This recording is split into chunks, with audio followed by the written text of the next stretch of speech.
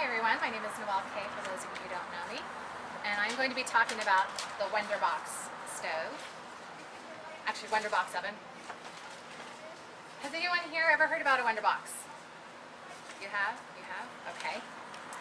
Um, this is otherwise known as heat retention cooking, fireless cooking, icebox cooking. Um, instructions for this Wonderbox came from a booklet published by the Compassion of South Africa in 1978, 1979, and 1980. It works like a slow cooker. I like to refer to it as my um, non-electric slow cooker. While one may use it solely for um, emergency situations, you can easily incorporate this in your everyday cooking routine. You only need a minimum amount of fuel, whether you're using a stovetop, propane, rocket stove, solar oven, volcano stove. You only need a little bit amount of fuel, about 2 to 15 minutes of your fuel source, and then you can place it in the Wonder Box to finish um, cooking your food to a required temperature. I'm sorry, you want to cook it for about 2 to 15 minutes to that required temperature before you place it in your Wonder Box. This particular one here has been filled with polystyrene beads, otherwise known as the beanbag, the beanbag filler. This one here has been filled with pine shavings. It's the stuff that you lay down on the ground for animals. You can get this at a feed store in a three cubic bag. Um, a whole bag will fill about three of, almost three of these. If you don't want to use either one, you can stuff it with, if you want to make these later on, you can stuff it with cotton, you can stuff it with wool, you can stuff it with uh, sawdust, feathers, um, hay, straw, aluminum foil. The KoZon Foundation, it's a Dutch non-governmental organization, and they make heat retention um, cookers in parts of Chad and Niger. Fuel and like charcoal sometimes can be very uh, dangerous for women and children to collect. It also can be very expensive, and so they've come up with um, these heat retention cookers, and that's how we've come to learn of it. Have you guys ever seen those rice bags, those egg rice bags? You can take those, and they'll take those and put two of them together, and then in between them, they'll fill it with a insulator. So this is what you're doing here um, if you don't have something like that. I've actually taken horse feed bags and put two together and in between it filled it with an insulator and used it the same way. If you don't have a Wonder Box, there's different ways of doing heat retention cooking without it. Let me show you one way here. This is a cooler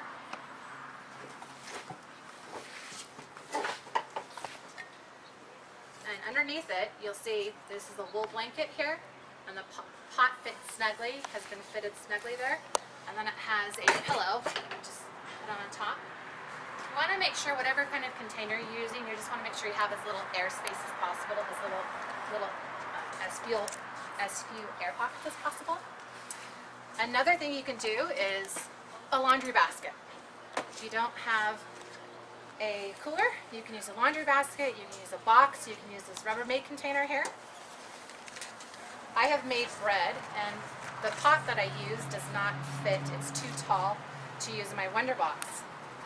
I use a stock pot to, to make bread and so what I've done here is I have a sleeping bag and then I have this wool blanket. You want to make sure whatever you're having right next to your pot that that material, that fabric, is something that's not going to melt onto your pot. No So- synthetics then? No synthetics. You want to have a natural fiber. You can use a towel, but I do prefer wool because it is a very good, um, it retains heat really well and it, and it seems to cook a little bit better. You know, sometimes you can pick these up at garage sales, you can pick them up at the Goodwill or a surplus store. If you don't have a wool blanket, sometimes I've found um, old wool, you know, those ugly wool skirts, and you can take that, cut that up, and use it to wrap around your pot. That works as well, or sweaters even. So what I Yeah, do, the The sweaters don't not decompose in composters because I tried doing that when I went through sometime later, a couple different times. My old wool sweaters were still in there. I hope they still are so I can pull them out and save them for this. this is how I've done bread before. You can see here. This is a bain marie pot. What? What? It's called a bain marie pot. I don't know. I just bought this off of Amazon. If you don't have this, I've successfully used mason jars And what I did is I took my bread and I kneaded it and then I put it in here and I let it rise. And as soon as it was done rising, the particular lid I, I purchased was not, didn't fit this right. So I simply took a, you know what a Reynolds bag are? These are those Reynolds like turkey bags. Mm-hmm. I just put this over like that and I wrapped a rubber band around it and then I placed it in my pot. I'm going to show you I have all these extra little glasses here, and that's just simply, you just want to make sure that your container, whether you're using this or whether you're using mason jars to cook your bread, you just want to make sure you put something else in your pot so that your, your bread's not going to flop over and get water in it, and then you've got to start all over again. So that's, these are just holding, it's just holding space there. You can see that. I've taken my bread, once it was done rising, and I covered it, I filled this entire area here with water. And I brought it to a boil. And I boiled my bread for 10 minutes.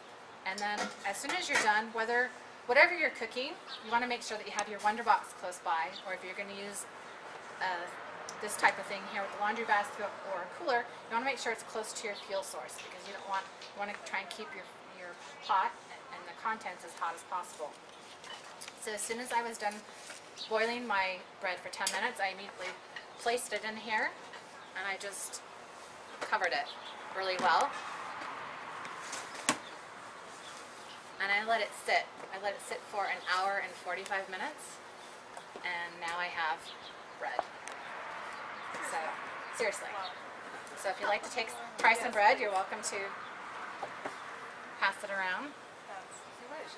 So I call it steam baking because it's kind of like that. You can successfully make bread. I have done it when I very first started experimenting. I, I had read about how you can make it in a cereal bag. You know the inside liner of a cereal bag? I just took that, put my bread in there, tied a rubber band around it, and then I put it inside of a turkey bag, and I rubber band that as well. And then I put it in a pot of boiling water, and I boiled it for 10 minutes, and then placed it into the Wonder Box. Wasn't it kind of an odd shaped loaf of bread? It was an odd shape, and you're not going to get that crust like you would in a normal in a normal oven.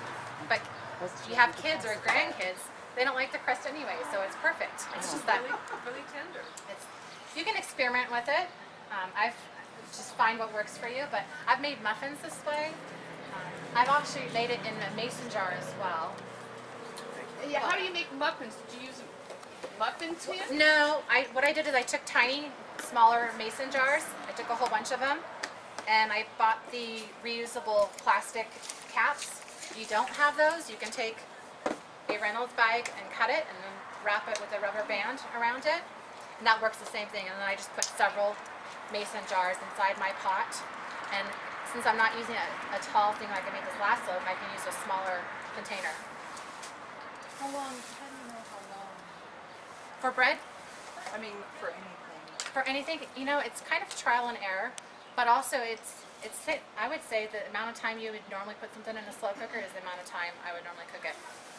Like beans example, you cook them for usually two hours. That's the great thing about this Wonder Box is whatever kind of fuel source you're using, you're cutting down your fuel tremendously.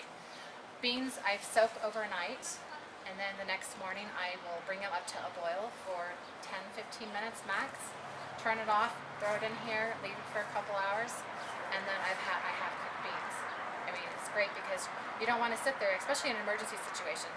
You don't want to consume, you know, have all your fuel gone by just cooking your beans. You want to be able to um, save as much fuel as possible. And that's the great thing about using heat retention cooking is you're able to conserve a lot of your, your fuel source. Now, how long will it hold the heat?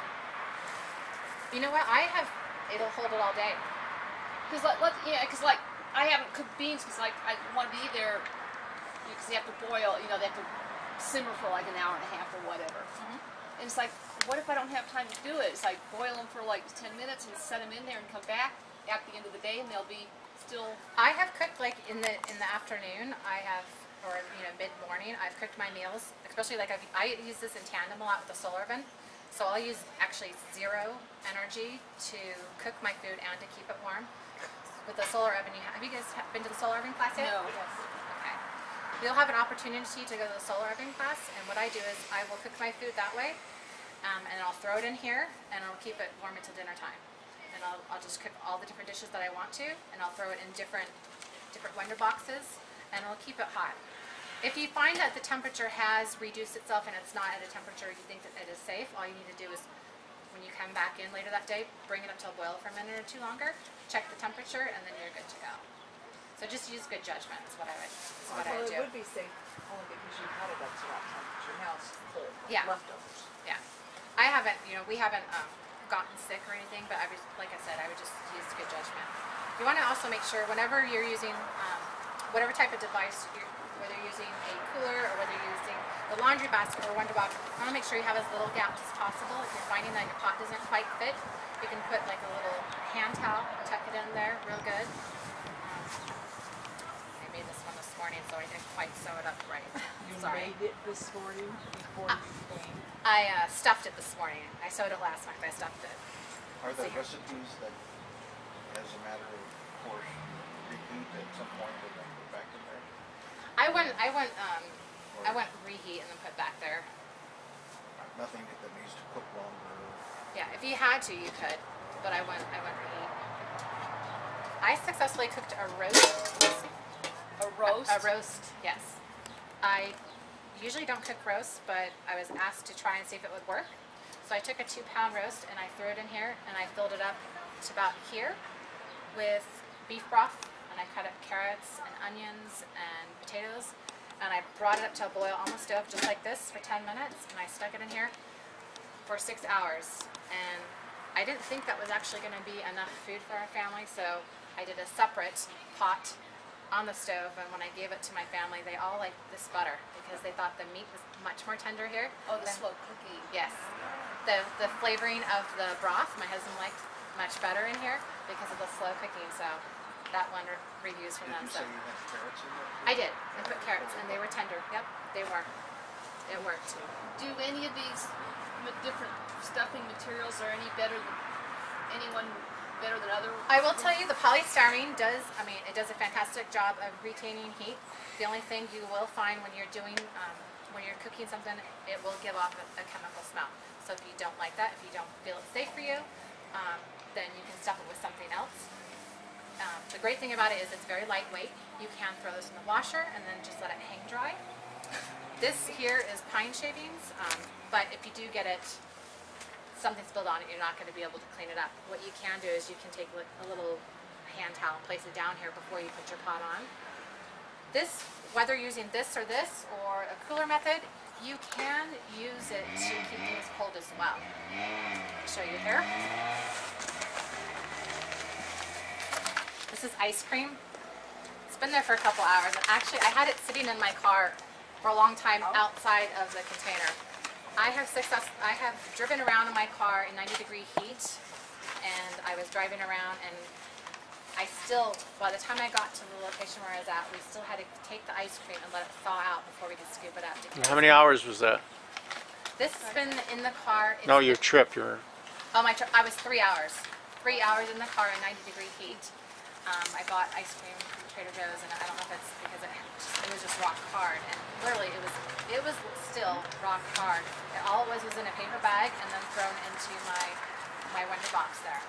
So it, it will keep things cold. I travel down to LA quite often to purchase our groceries, and sometimes I don't have enough room in our big cooler, so I will take these. I'll take a couple of these, and I'll throw our frozen food.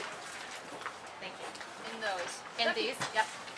Those would be just great for anybody up here to have for the summertime when they're shopping. Yeah. And they don't have to worry about, oh no, I got groceries in the car, I need to get home. It's like, oh, I got groceries in my car plus the Wonder Box, they'll be fine. I have an idea. You could do a long rectangle shape and have dividers. So, you don't, so when you have just food, you can put the divider in there and still have the That would work. no air space. Yeah, and then when you have more groceries, there's the divider down. On, on this, I don't, I don't know if that would work with the, with the dividers or not, because you wanna, you wanna make sure that Just a extra you have as little space as possible. Yeah. Well, it Yeah. could work. I mean, if And- you think about it. Or just take some extra little towels So and which stuff. one? Put a wool Yeah. blanket on top of There. I, pref- I, I prefer this just because I just don't like, I just don't like the smell, that's just me, but I'm real sensitive, Do you so get- other do you people- get a But this, Scent of s- pine? with you do, you will, either one, but you know what, especially in an emergency situ- situation, I don't think you're gonna really care what it smells like, it's gonna cook your food and it's gonna feed your family, and that's the important part. Um, So you, what you're saying is that with the polystyrene, it's gonna give you uh, a little uh, aftertaste It- or whatever? No, you're not going to get anything in your in your food. You're not going to get any aftertaste in your food. It's you just you'll just smell you'll just smell it a, li- a In the- little bit. in the- So if it's Yeah. outside. Yeah, exactly. It is the best piece of food. It is. It's a fantastic insulator, so it does it does really retain the heat. It does really cook it well. Like I said, especially in an emergency, you know, if you don't want to use it for everyday use, but especially in an emergency situation, I don't think you're going to really. I think you're going to want to keep your food, you know, try and cook it as you know what you can and keep it as long as you can because you're going to probably have limited amount of times to cook your food and whatnot. You? Let's see here. You want to make sure though, the, one of the key things is um, if you are using a Wonder Box, you want to make sure that it's not on any metal surface because that will draw off your, your heat. So make sure it's on concrete or anything else that it's on. If it's on a countertop, that's fine. Wouldn't concrete also pull away the heat? Um, I don't think so. I think it's just metal, but I'm not I'm not an expert at that. I would imagine if you had three inches of uh, styrofoam cans, it would not. Possibly. You're right. Where do you buy Let's the polystyrene? The, I'm sorry. where do you buy the polystyrene? The polystyrene bead, the only place I found in town is Kmart. And you can buy it, it's called beanbag filler and you'll find it in the beanbag section. section. You'll have an opportunity to come back on the 22nd if you'd like.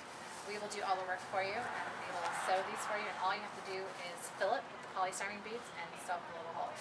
So if that's something that you're interested in, we do have a sign-up sheet here that you're welcome to take a look at or you can take a look at at the end of your classes. Where can we get the pine shape pines? and The pine shavings, I bought a three cubic bag at the feed store. So they have different kinds. They have, they have um, a more coarse one or a more fine one. I prefer the, the a little bit the more of the fine one just because it molds a little bit easier around your pot. You just want to make sure that whatever you're cooking, if you're cooking for a small amount of people, you use a smaller pot. Cooking- And you want to make sure you have as little airspace as possible so fill it up with more water. And there's different ways of. You, did I tell you guys about the different ways of cooking with the bread? Did I tell you how I did it in the, in the Reynolds bag? Mm-hmm. Okay. You mentioned you did the muffins. How long would it take to cook muffins? Muffins. I think muffins are about 25 minutes or so. About Not normal. quite. About, about normal time. That's what I gauge everything on. Is about the same amount of time you would do it in any other way. You explained how you cook uh, bread Mhm. with the uh, jars of hot Mhm. water. Make the bread in the later or, uh, No, no, no. no, I mean, uh, you heated it up first or something, I, I boiled mine. I boiled the bread for about 10 minutes. and then you put it in the, the hot water. Uh-huh. What, are there other ways of doing it? The bread you can place it in the in the jars, or you could place it in the Reynolds bag. You're not going to have a a structured loaf per se, but it will still work. You can also take a, like a whole chicken and throw it in a turkey bag. I would double it up. Take a whole chicken and wrap it up and double it and put it in a pot of boiling water, and you will have a roasted chicken like that. But I would give that several hours to So- cook. More like a steamed chicken. Exactly, more like a steamed chicken. What I would do is, I, I suggest doing single ingredients first, that way you're not using a lot of resources, not a lot of waste of your money and everything, and just trying to experiment with what works best for you. Are there, um, like instructions or things online that will give you ideas of what you can do as Um, far as cooking different things? You can, I have these sheets here if you'd like to take a look. There's different bulletins on, there's some recipe links here, some that I've done, some that other people have done, and then you can just kind of Google it. But like I said, I would, what I make in a crock pot, most things that you could cook in a crock pot, you can cook in here. The main thing is um, how to how to figure out the boiling part on. You use these very often. I do. I recently I haven't because I have a, a son with a, a health condition, but prior to that I used it every day actually. I used it. I used a solar oven and I would use this in town every day. Now, why aren't you using them because of the, your son with a health condition? Is it what he has to eat? No, I can't go outside in the sun. I can't open my doors during the daytime, so it makes it difficult because I would I would use my my solar oven Oh. a lot. Yeah. Yep, you're welcome to. Now, well, with the yeast breads, you said something about boiling it, but with the quick breads like the muffins, how would you cook those for a few minutes and then stick them in there? You put it in the oven for a few minutes? Like a, I haven't done quick breads in here yet, but I'm sure you could do the same thing. Well, you said you said the muff. You said you you've done the muffins. Muffins, yeah, you just do the same thing. Once you just mix it all up, and then you just throw it in your container. Yeah. So you put it in the container and then what? Where does it go? It goes, it goes in a pot as well, and you just put, wa- you just put water around your container. Oh, you just put the hot water around the container? Yes. Oh, Don't okay. put, you don't never put water, like if you're making bread, you never put water actually in the container with your, your mix. You're putting the water around it in the pot. Oh, okay. Yes. If you want to take a look afterwards, you're welcome to come and take a look. storing. Yes, because you, you have to boil it. That's the thing is, whatever you're making, you have to boil the water because that's what you're, you're going to capture all that heat. You want to make sure that you keep your lid on. This is very important. Keep the lid on for the last couple of minutes.